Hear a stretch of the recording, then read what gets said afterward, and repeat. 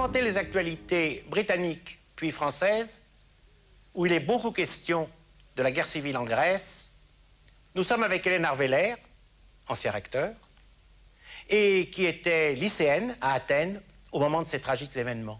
Hélène Arveiller, vous vous en souvenez? Mais comment donc? Et je me souviens d'une chose très précise. Les mêmes uniformes, aux mêmes endroits, tirant contre les mêmes personnes, mais sous des ordres de différents. Vous voulez dire les Allemands et les Anglais Voilà. C'était, quand je dis les mêmes personnes, c'était la police grecque qui était sous la coupe allemande. Après la libération, donc, euh, après le mois d'octobre, cette police n'est pas tout à fait dissoute, mais pas du tout.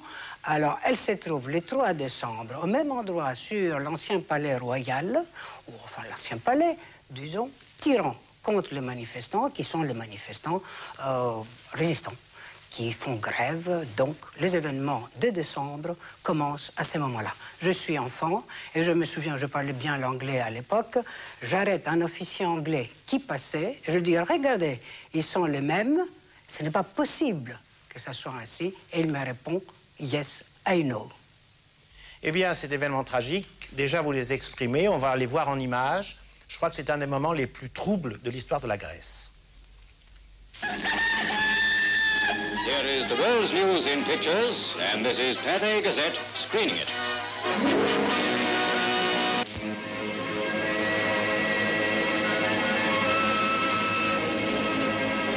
Let us preface our story in the tortured capital of Greece. Here, the shocking effect of partisan strife, following hard upon international war, may most glaringly be seen. There is little in Athens today to commend modern civilization.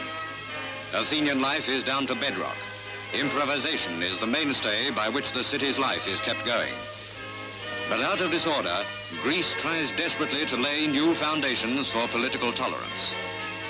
War, famine, and pestilence have ridden across Greece and left this fearful spectacle in their train.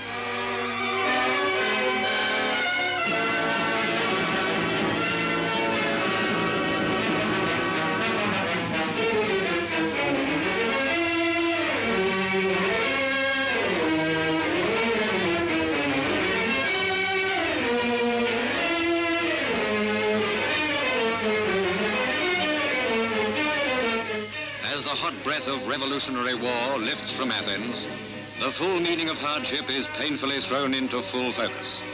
Our military find it no alien experience to become evangelists of mercy. Donc ici, Hélène Aueller, les Anglais jouent le rôle de bons samaritains au milieu des ruines. C'était grand temps.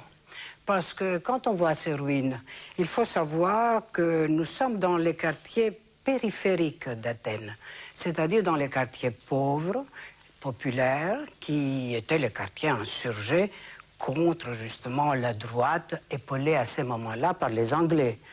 Et quand on voit ces ruines, on peut se demander si ce ne sont pas les Allemands en partant qui ont bombardé Athènes ou qui ont miné Athènes. Pas du tout.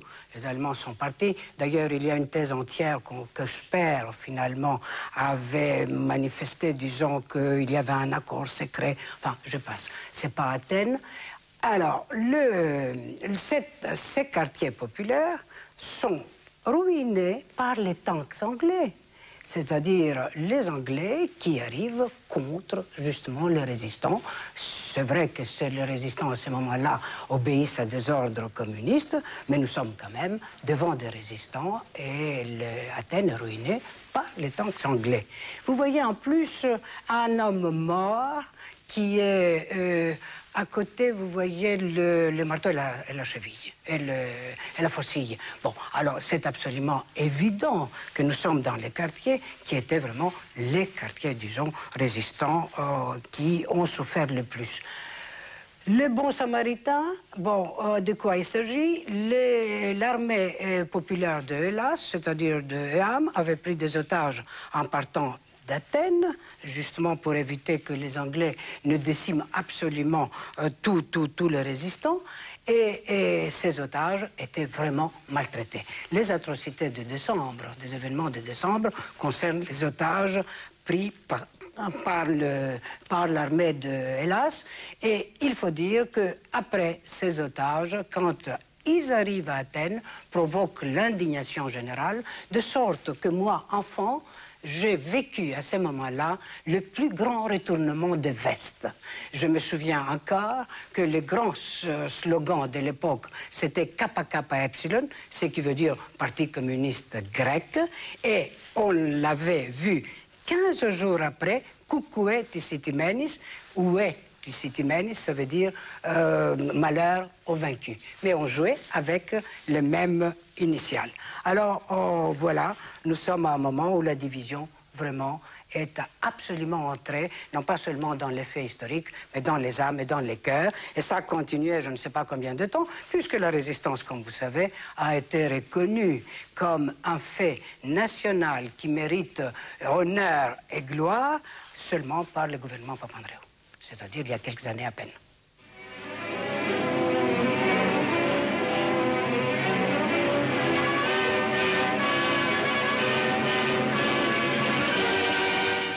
Medical personnel wage war on body lice, dreaded plague carriers.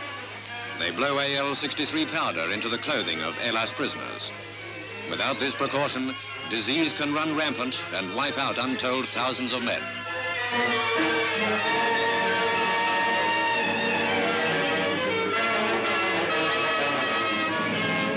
Here in Greece, the mortal need of a people and a land divided against itself cried out for the grace of mercy. That inner voice penetrated the chaos of political disruption and was heard by those who minister to pain and suffering, the International Red Cross.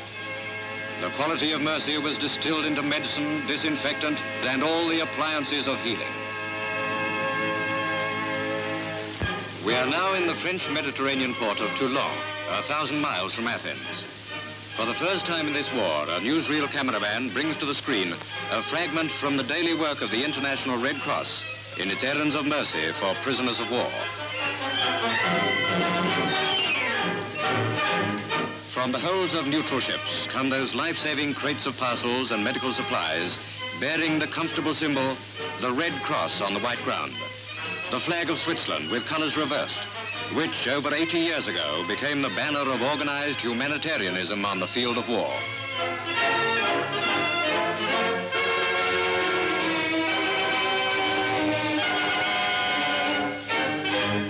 German prisoners are employed in the loading of packages destined for the Central Clearinghouse in Geneva.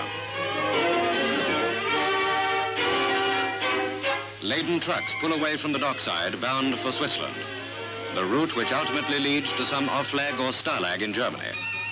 Many hundreds of tons are dispatched by train in this work which cares for Allied and enemy soldiers alike.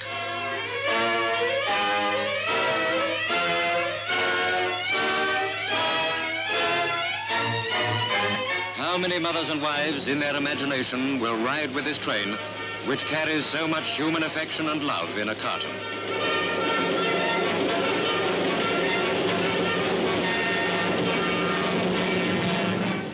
Road haulage vans enter the gigantic warehouse in Geneva, where many thousands of tons of gift packages are stored. Comforts from home which help to make a prisoner's life bearable.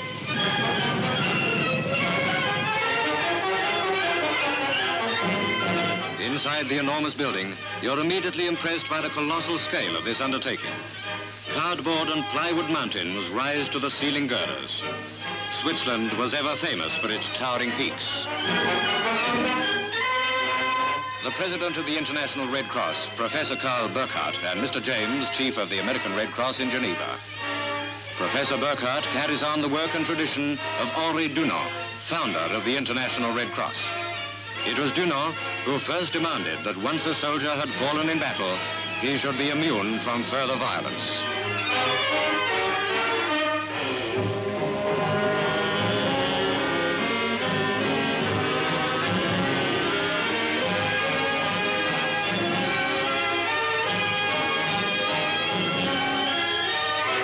50 railway wagons, each containing 10 tons of supplies, leave for Germany daily.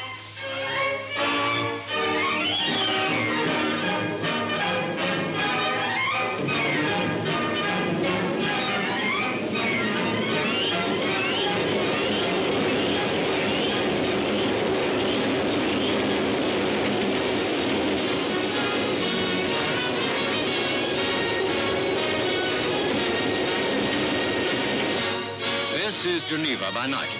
A neutral capital surrounded by warring nations, it radiates light in a dimmed Europe. Brilliantly illuminated shop fronts are for us the ghosts of 1939.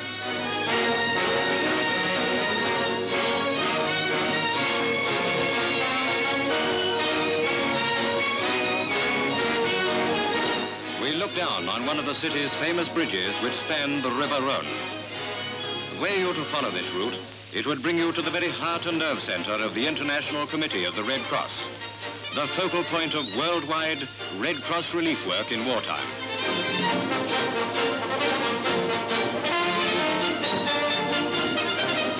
In the central hall of the agency, neutral Swiss tabulate details concerning every known prisoner of war from every country. These guardians of the original Covenant of Geneva also have sections dealing with missing civilians.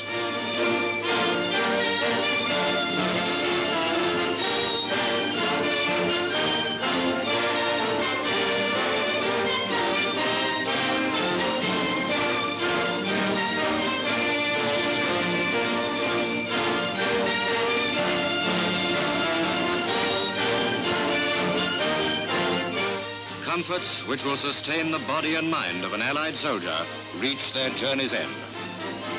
Those who follow in the steps of Henri Dunant move fearlessly in a warring world, tending the wounded, demanding humanity in the name of the Red Cross.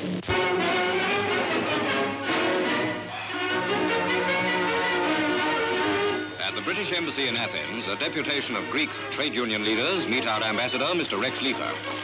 70 of these trade unionists walked nearly 10 miles from the Piraeus to Athens to express their thanks in person for the end of the civil war in their capital.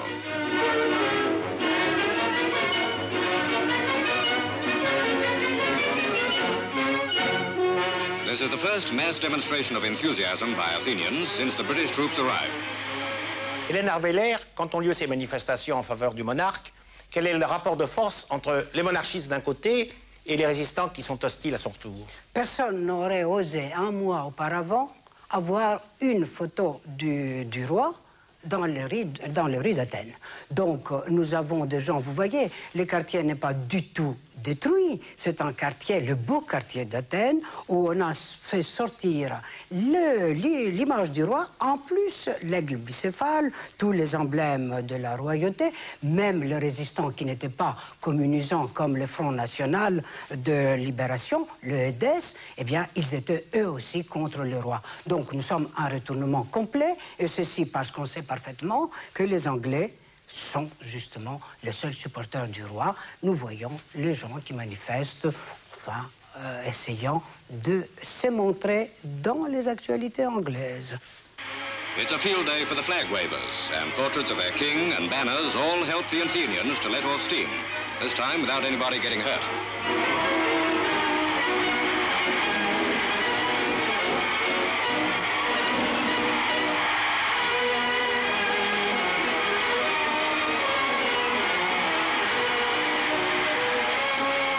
The ex-Prime Minister, Monsieur Papandreou, greets the crowd from the balcony of the Hotel Grand Bretagne.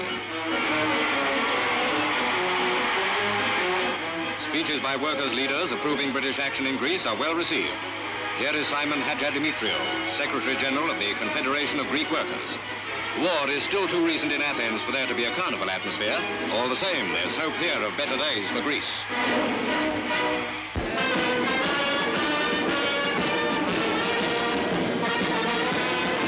Australia Day was celebrated in London this year by Australian servicemen with a march to their commemoration service at St Martin's in the Fields.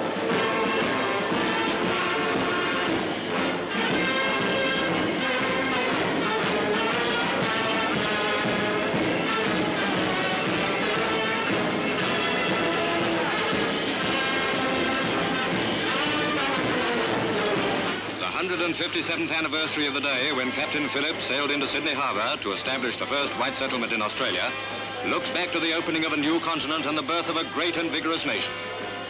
This year, Australia Day had a special significance. It marked the arrival in Australian waters of the Commonwealth's new Governor-General, the Duke of Gloucester. We employ these exclusive Pathé pictures taken at Barnwell Castle, Northamptonshire, to express good wishes to the Duke and Duchess and their children.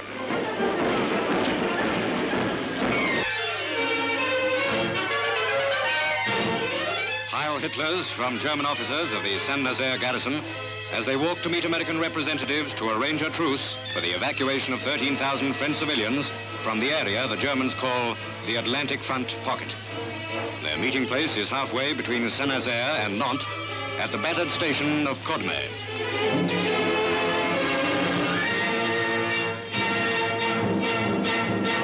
No man's land breach in the railway line has to be repaired to allow the Mersey trains to get through.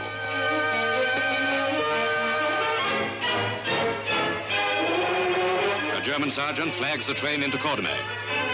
From here, German personnel on the train are replaced by FFI guards who, incidentally, made sure that no enemy agents had a chance to slip through among the civilians crowding the trucks.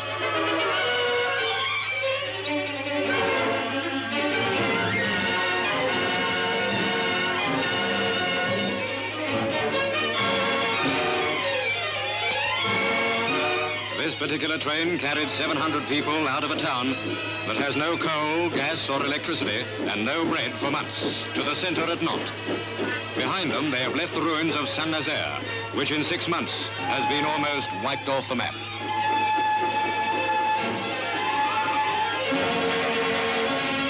Arrival in Nantes. Women and children from a part of France still held by an estimated 100,000 Germans bottled up along the Atlantic coast.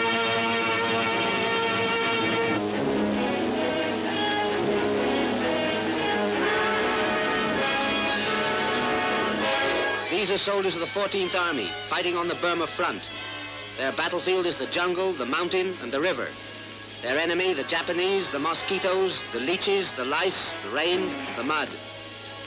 Fighting in a jungle 400 miles away from anywhere, the men of the 14th Army have their own newspaper to bring them news from Britain. And equally important, to express their own ideas and opinions about what goes on. Said Lord Louis Mountbatten, Supreme Allied Commander in Southeast Asia, news must reach Britain's fighting men on the front with the efficiency of a national daily. So SIAC Frontline newspaper was born. Well, here are the staff of SIAC on the job. I'm the publisher, and Len Jackson, the sailor, edits the paper. 40,000 copies a day for an area about the size of Europe.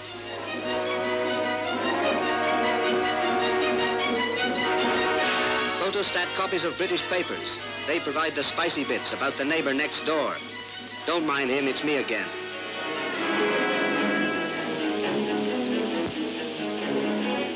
These are the various processes of producing a newspaper. And if you'd like to come over to Calcutta sometime, we'll show you more. These Indian workers are really first rate, and they're grand fellows to work with. We start business on SIAC at 10 o'clock in the morning, and we finally put the paper to bed at midnight.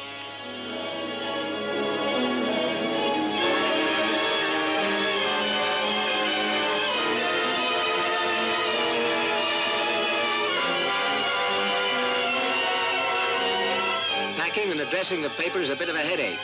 Our 14th Army customers are so darned unreasonable, the way they keep advancing. And we've got to follow them all over Burma. For the sake of security, addresses are merely code numbers, which only the Army distributors understand. The papers, flown direct from Calcutta, arrive on the front. These planes fly over 8,000-foot mountains, through monsoon storms and the fire of enemy artillery. The other day, a plane crashed, and all the crew were killed, but they'd safely delivered the paper. Well, these boys seem to be waiting for something. They probably had a sweepstake on where the Russians have got to overnight. No, sorry, it's Jane they're interested in. Perhaps SIAC means more to the men in the hospital than to anyone else. Over the firing line, the papers come down on the end of a parachute. One day we dropped a bundle of SIAC newspapers on the Japanese by mistake. I don't know what they thought about Jane. War maps and articles by SIAC's own soldiers, sailor, and airman reporters are close favorites. But servicemen's letters to the editor come out top for popularity. It's a soldier's newspaper, and as Lord Louis said, it's a paper they trust and believe in.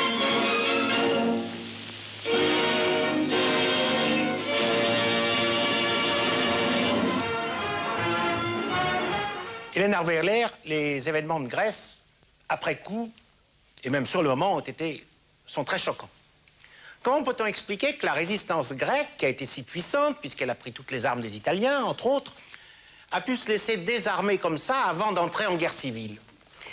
Elle était très puissante, non pas seulement parce qu'elle a pris les armes des Italiens, notamment le Hellas, c'est-à-dire le démocrate communisant, si on peut parler ainsi, mais aussi parce qu'il y avait un support populaire sans précédent. Les Grecs, quasiment tous étaient résistants, les uns pour, disons, une résistance de droite, si on peut parler ainsi, et les autres de gauche. Alors, la première faute grecque, cette fois, c'était justement cette division interne, où on a commencé euh, au début de 1944 la guerre interne entre les deux mouvements de résistants, entre ceux qui étaient de droite, disons, et la résistance de gauche armée, j'entends. Et on a tué des gens qui étaient vraiment de grande qualité, je parle du côté des communistes. Donc nous nous trouvons devant une sorte de division nationale qui fait que on ne peut pas ne pas être content quand les Anglais vont arriver. Alors donc les Anglais comme libérateurs pour, pour tout le monde, personne ne pouvait être contre. Mais attention, à ce moment-là, n'oubliez pas que nous avons une partie de Grecs aussi qui se trouve au Caire, qui se trouve avec le roi et le, gouvernement de l'époque au Caire. Alors, cette partie-là est aussi démocratique et elle s'insurge contre justement les Anglais qui essayent d'avoir une solution royaliste. Alors, nouvelle division, nouvelle, euh, euh, attitude qui fait que les Grecs paraissent devant les yeux des alliés anglais comme étant un peuple qui ne peut pas avoir concorde et harmonie dans ce sein. Mais à ce moment-là, on a le LAS, c'est-à-dire l'armée communisante, a libéré quasiment toute la Grèce, à l'exception d'une petite partie de l'Épire du Nord. Alors, cette libération fait que vous avez une autodétermination dans cette partie de la Grèce absolument fonctionnant. Et cette autodétermination empêche que euh, les instances communistes ou de EAM en général puissent agir seulement politiquement selon l'intérêt de leur propre camp. D'où les accords de Gazerte, puisqu'on a signé les accords justement avec les Anglais et le gouvernement du Caire, pour que tous les résistants, c'est-à-dire de droite et de gauche, à ce moment-là, et Zervas et Sarafis, c'est-à-dire les deux chefs historiques, l'un de droite et l'autre de gauche, se trouvent à Gazerte. Ils signent les accords avec les Anglais et avec Papandreou, père, qui était justement le, le Premier ministre, et il signe les accords en mettant toutes les armées de la résistance sous les Anglais. Alors, à partir de ce moment, les Anglais arrivent en Grèce le 12 octobre, le 18 octobre, mais en sachant que si le LAS voulait les empêcher, il était tout à fait en mesure de le faire. Mais on ne pouvait plus, l'opinion publique, et après la signature de Gazette, considérer les Anglais comme étant le chef des armées de la résistance grecque. Premier point. Alors, quand les Anglais, après, veulent quand même enlever, désarmer les, euh, les résistants de gauche et de droite et créer la fameuse garde nationale, alors on voit à ce moment-là qu'il y a une attitude qui n'est pas, je dirais, la même vis-à-vis de ceux qui sont de gauche et de ceux qui sont de droite, puisque Scobie, c'est le nom euh, du général anglais, empêche tout résistant d'entrer à Athènes armé. Ce qui veut dire que les gens qui étaient à 60 km d'Athènes et qui voulaient venir voir leur, leur, famille devaient laisser leurs armes au vestiaire pour venir à Athènes. Ceci, ça crée une situation absolument explosive. Et on sait parfaitement que déjà au mois de novembre, euh, euh, Churchill, il le dit d'ailleurs dans ses mémoires, il savait pertinemment bien qu'il ne pouvait pas s'il voulait appliquer les accords avec Staline, ne pas avoir la main très dure vis-à-vis des Grecs. Et il dit, ça je cite presque comme ça, que je sais que nous ne pouvons pas éviter les affrontements avec le Hellas, au moins qu'on choisisse l'heure, le moment et la place qui nous est favorable. C'est ce qu'ils ont fait. Alors, un des éléments tragiques de cette histoire, c'est que les communistes grecs, ou du moins ceux qui sont proches d'eux, sont surpris de ne pas être soutenus euh, par Staline dans cette conjoncture. Et puis il y a un deuxième élément qui intervient aussi et qui rend la situation complexe, je crois, et vous allez nous expliquer ça, c'est que autour de la Grèce, dans les Balkans, euh, la situation fermente. Alors, comment ça se présente, ce dernier Alors, point euh, le premier point d'abord, c'est euh, sûr maintenant que les accords d'octobre entre Churchill et Staline concernant le fameux partage, c'est-à-dire 90% de la Grèce pour, le, pour, le, pour les Anglais et 10% pour les autres, correspondant en Roumanie, 90% pour les Russes, 10% pour les autres, mais avec une différence, que les Roumains étaient des alliés de, de- de- des Allemands, tandis que les Grecs ne l'étaient pas. Eh bien, cet accord est absolument ignoré, non pas seulement de peuple grec, mais aussi de, il semble aussi des gouvernants. Donc, les communistes croient, enfin les communistes ou les âmes, croient qu'au moment de l'insurrection, il y aura sûrement une réaction soviétique. Et c'est assez intéressant de noter qu'à la fin du mois de décembre, les soviets nomment un ambassadeur à Athènes. Alors, au moment de... de- il y a l'insurrection et à ce moment-là, ils, ils envoient un ambassadeur. Et il y a autre chose, ça sera intéressant de voir. Je suis pratiquement persuadé que les actualités soviétiques de l'époque n'ont rien montré de l'insurrection d'Athènes. Bien sûr. Ce qui veut dire quand même que Staline, non pas seulement il est pour quand même ces accords avec Churchill, mais il impose aussi le silence. Pravda n'a rien écrit, Izvestia n'a rien écrit. Donc nous sommes à un partage de grands en ce qui concerne un pays petit, mais qui était grand par justement tous ces faits d'armes à côté des Alliés, ce que les Grecs ne pourront jamais comprendre. C'est pour cela maintenant, vous voyez tous les problèmes concernant les frontières balkaniques encore mis en cause. Pourquoi?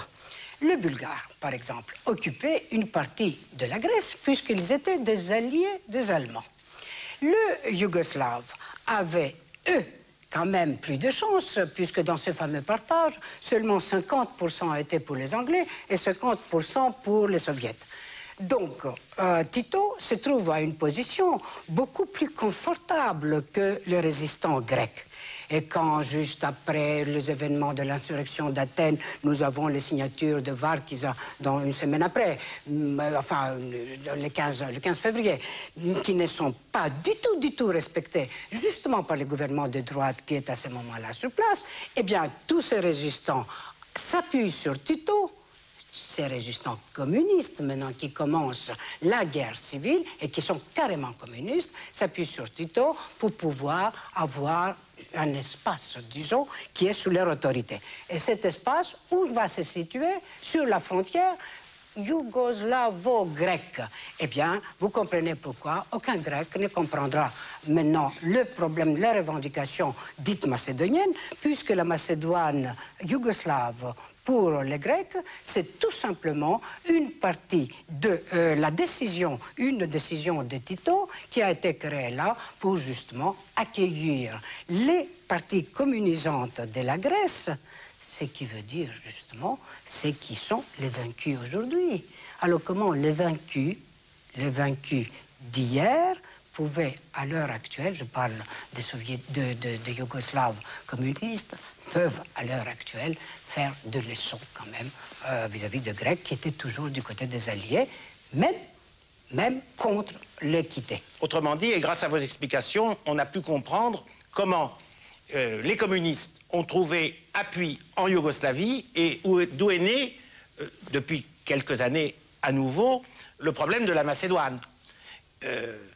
On va voir que cette Macédoine yougoslave revendiquera à son tour une autre partie du pays qu'on appelle aujourd'hui la Macédoine grecque. Si vous voulez bien, maintenant, on va voir les actualités françaises, qui bien sûr ne parlent pas de la Grèce, mais en France, on trouve une micro-situation grecque, pour autant que euh, ben, les milices euh, patriotiques, enfin une certaine partie de la résistance, a été aussi désarmée euh, à l'époque de De Gaulle et, et après, et où on va voir que les actualités recèlent une odeur assez bizarre. Nous sommes après la libération et on croirait entendre des discours sur les ruines de l'époque de Vichy et même d'avant. Oui, mais Marc, permettez-moi de vous dire quelque chose, si vous le permettez. Le désarmement, quand même, français, c'est fait par des Français. C'est vrai. Tandis que le désarmement des Grecs, c'est fait par les Anglais. Oui.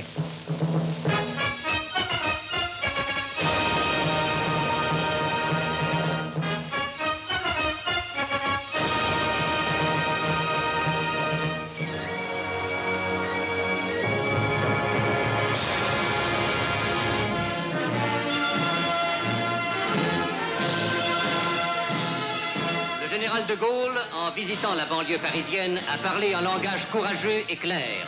La victoire est au bout de nos peines. Mais ces peines sont réelles, et dans cet hiver de guerre, la vie est dure. Partout, la nature semble jouer contre nous. Ce furent d'abord les inondations qui ont ravagé des régions entières. Et puis le gel qui a paralysé nos canaux, bloqué les péniches qui auraient amené le charbon. Les routes gelées, les transports ne peuvent même plus se transporter eux-mêmes. Le bétail ne trouve plus à brouter que de la neige, et nos campagnes ne sont qu'un immense frigidaire d'où on ne peut plus arracher les légumes. Nos voies ferrées, consacrées avant tout aux besoins des armées, n'apportent plus aux civils rien qui les réchauffe et pas grand-chose qui les nourrisse. Les halles sont vides. En dépit de la bonne volonté du gouvernement, certaines lenteurs et maladresses d'une administration où subsistent trop d'éléments anciens et de routine font aussi que Paris connaît aujourd'hui de pitoyables spectacles. Parisiens, Français des grandes villes, dites-vous bien que vous n'êtes pas les plus à plaindre. Songez aux habitants des villes de Normandie qui vivent plus mal que vous dans leurs villes détruites.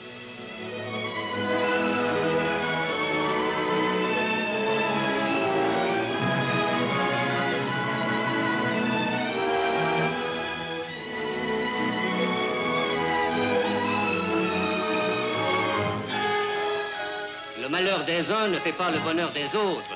Mais il y a deux choses qu'un Français n'a pas le droit d'oublier. La première, c'est que nos soldats se battent dans la neige. La seconde, c'est que d'autres Français, eux, n'ont pas de toit, n'ont pas de mur, n'ont pas de rue, n'ont pas d'eau, pas de lumière du tout, pas de gaz du tout, et que ces Français vivent et espèrent.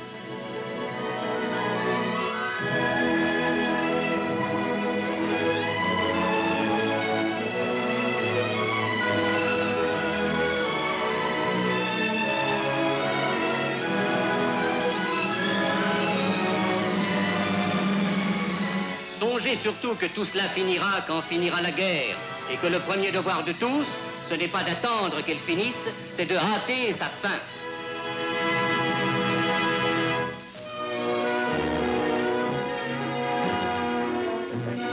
Le froid, le terrible froid continue son offensive. Nombreux sont les Français qui cependant n'ont pas de quoi se vêtir. Un camion de l'entraide française va porter aux sinistrés quelques vêtements destinés à parer aux besoins les plus pressés et les plus criants.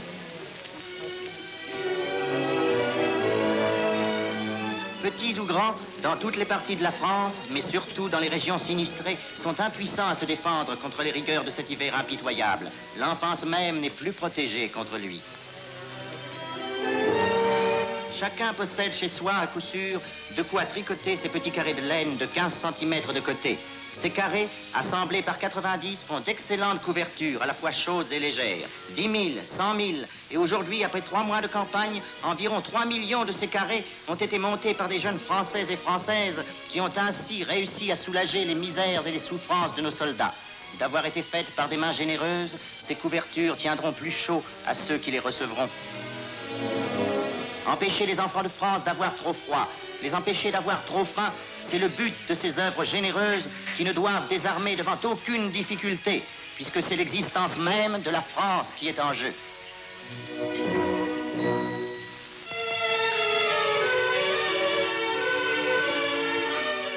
L'hiver est là. L'hiver, la neige, le froid. Dans ce pays tout blanc, trop blanc, blanc comme la mort, que trouveront ceux qui n'ont plus la force de travailler?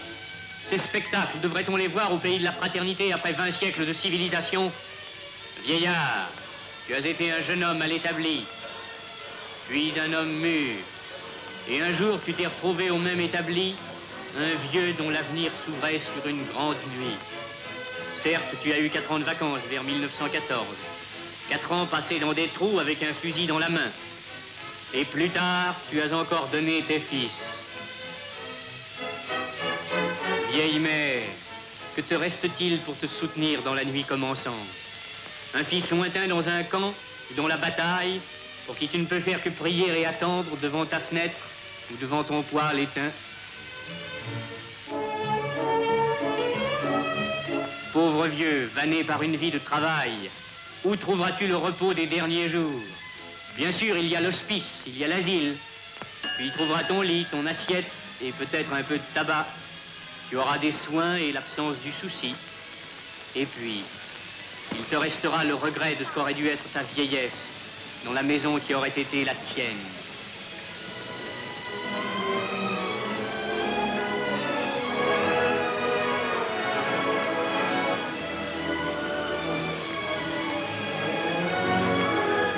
Sûr, il y a la soupe populaire. Et puis, il te restera le regret de la table où tu aurais dû t'asseoir au milieu des tiens. Car ce n'est pas la charité, si grande soit-elle, qu'on te doit. Un peu de charbon, les rations de misère que tu emportes dans ton cabas, les dix francs que t'allouait Vichy, ce n'est pas cela qu'on te doit. Ce qu'on te doit, c'est le système humain qui fera vivre normalement les vieux du travail de tous, le système social qui assurera pour chacun l'avenir. Car la charge de la vieillesse doit être répartie sur tous. Demain, elle deviendrait trop lourde pour une France qui se dépeuple. Demain, elle s'allégera en raison du nombre de ses enfants qui pourront travailler. Que la France redevienne un peuple de jeunes. Que le travail de tous participe au repos de ceux qui ont fini de travailler. Et chacun pourra entendre sans crainte le mot aujourd'hui terrible, vieillir.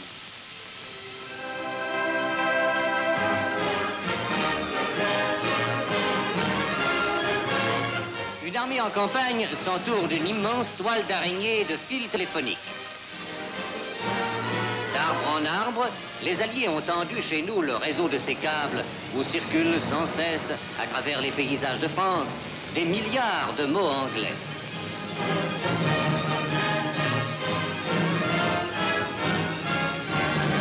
Pour aller plus vite, on crache derrière soi le matériel qui a servi à cette installation.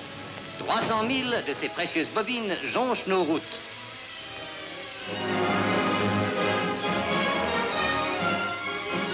Les liaisons sont assurées par des girls de téléphone qui ont traversé tout exprès l'Atlantique.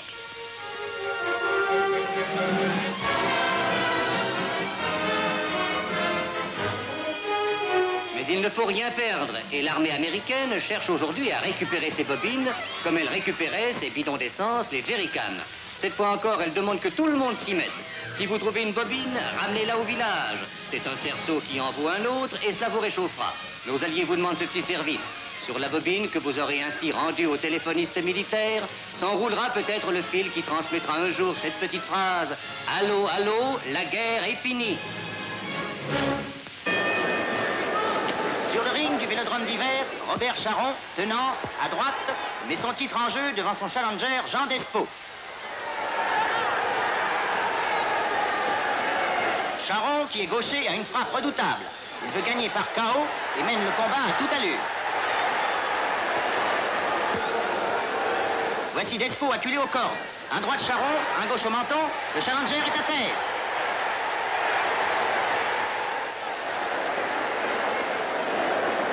À 8, il se relève. Tiendra-t-il jusqu'à la fin de la reprise? Il s'accroche. Et Charon ne peut réussir le coup décisif.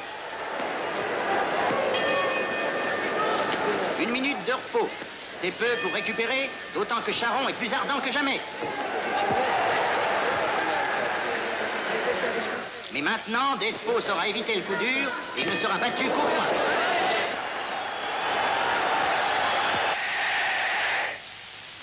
« 100 000 spectateurs aux États-Unis pour la finale interarmes de football américain. L'armée est opposée à la marine.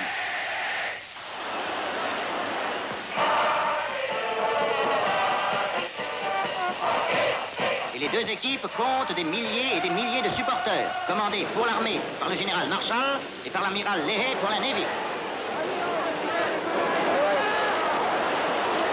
Marin fonce, il passe 5, 10, 20, 30 yards.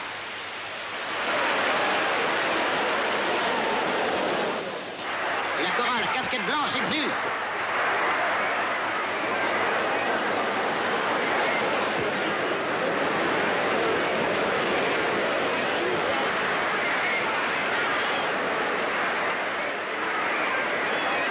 Mais l'armée portée par les cris de ses supporters, remporte une victoire follement applaudie.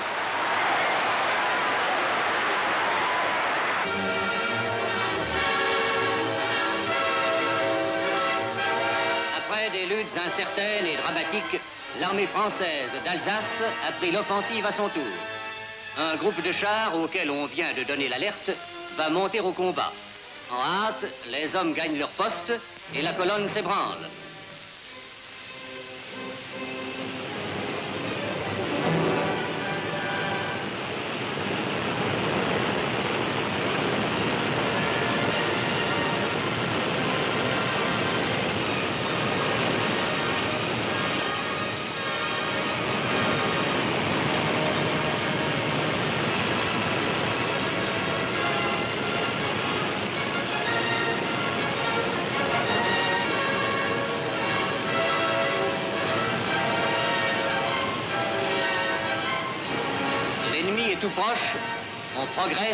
Précaution.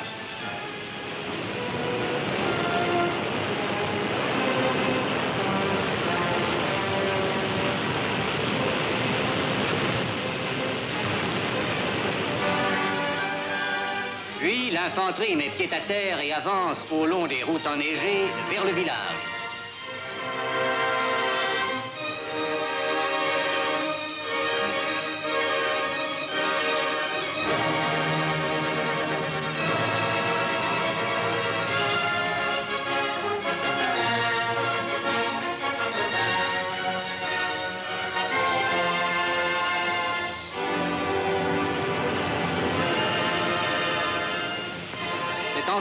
Ces villages dont on n'est jamais sûr d'être les maîtres, même quand on les a conquis. Partout, la prudence s'impose. Il faut nettoyer les maisons l'une après l'autre.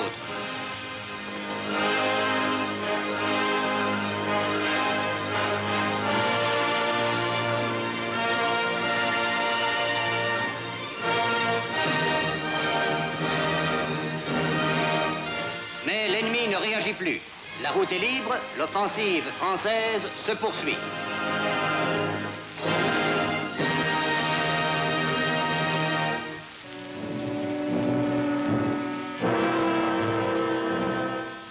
Les Ardennes, les soldats anglais se réchauffent comme ils peuvent avant de repartir à l'attaque. Pour camoufler les chars, il suffit d'une enveloppe blanche. Ce couvre-lit ne s'attendait pas à un sort si glorieux. Ces canons sont allemands, mais ils ont tourné casaque, ou plutôt tourné culasse.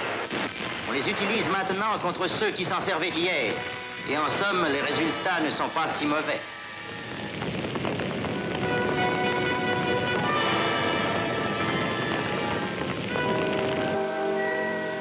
La neige, les Alliés regagnent peu à peu le terrain qu'ils avaient cédé. Et voici les premiers morts. Des enfants, des femmes. L'ennemi avait repris un village, il a laissé un cimetière. D'autres cadavres. Les Allemands ici ont assassiné des prisonniers américains. À mesure qu'on les repousse, ils sèment derrière eux leurs traces sanglantes. Et ces prisonniers allemands n'ont pas l'air trop rassurés.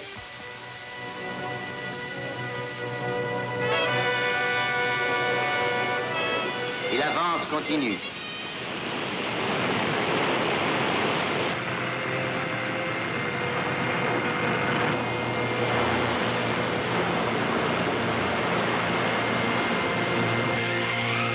La tempête s'est levée. Chaque mètre gagné est une souffrance. Chaque kilomètre est un exploit. Mais maintenant, il n'y a plus de saillants des Ardennes.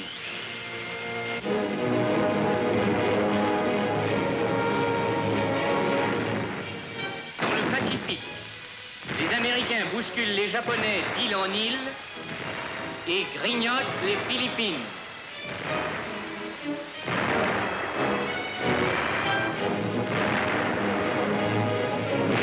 Aujourd'hui, c'est le débarquement géant dans Luçon. Hier, c'était la conquête de l'île de Leyte. Les Nippons sentent peser chaque jour plus lourd le poids des armes américaines.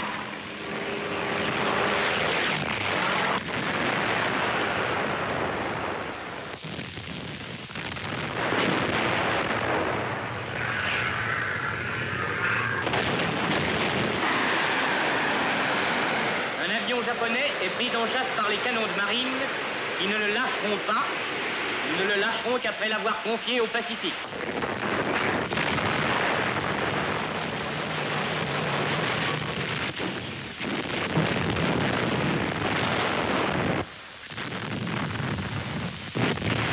Les navires ont amené à pied d'œuvre ces bizarres embarcations, conçues tout exprès pour le débarquement et qu'on devrait par conséquent appeler non plus des embarcations, mais des débarcations. Tous ces petits bateaux ont craché une armée comme des mitrailleuses crachent leurs balles. Et maintenant, l'île est envahie.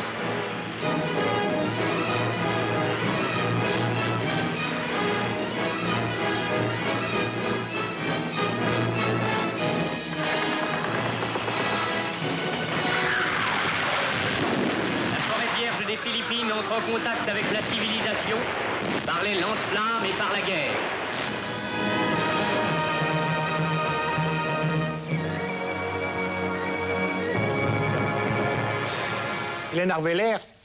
On disait tout à l'heure que dans les activités françaises, on va sentir un peu une odeur euh, euh, à la grecque.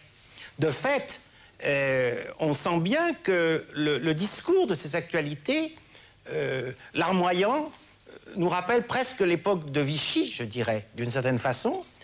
Et puis on a su qu'en France, évidemment les conditions ne sont pas les mêmes, euh, un certain nombre de résistants ont été, euh, se sont désarmés ou ont été désarmés sur ordre du gouvernement, comme ça a eu lieu d'une certaine façon en Grèce, mais évidemment dans d'autres conditions. Qu'en pensez-vous? En regardant ces actualités, moi je t'ai frappé de absence de tonus. Un pays qui vient d'être libéré, qui entre quand même dans une histoire nouvelle. on parle des vieux, qu'il faut s'en occuper, c'est vrai, d'accord, mais ça m'a rappelé un peu patrie, famille, travail, enfin tout ça, ça devient une sorte de courant latin qui continue à exister, j'aurais dit tout bêtement presque une montée ou une résurgence d'une droite d'esprit. Et ce qu'on voit beaucoup, beaucoup plus accentué en Grèce, où là, c'est une droite musclée qui apparaît et qui mettra du temps, du temps justement, à comprendre qu'elle n'est pas la seule à gérer les pays. C'est assez intéressant de ce point de vue de dire qu'il n'y a pas un collabo qui était jugé en Grèce. En France, il y en a eu pas mal. Néanmoins, sointe ce qu'on a pu appeler en histoire, dans cette actualité, le syndrome de Vichy. Merci Hélène Arweiler de nous avoir aidé si magnifiquement à comprendre les événements de Grèce au début de 1945. La semaine prochaine, à Histoire parallèle, nous verrons des actualités françaises et américaines. Merci de m'avoir invité.